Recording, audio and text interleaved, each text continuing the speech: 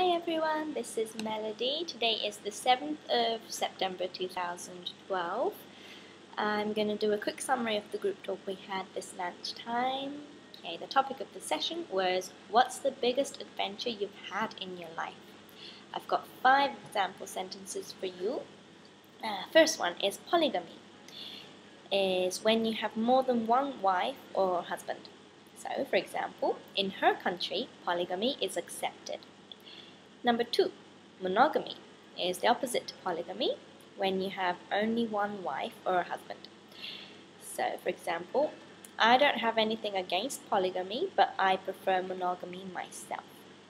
Number three, commodity price is the general price of things in a country.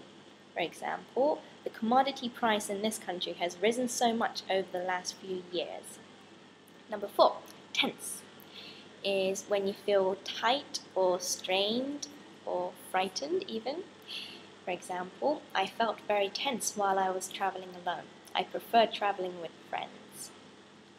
Last one, number five, devout means devoted or sincerely believing in a religion.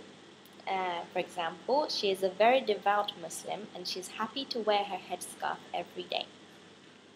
Okay, it was a very interesting group talk. Hope you had a nice time and I hope everyone has a lovely weekend.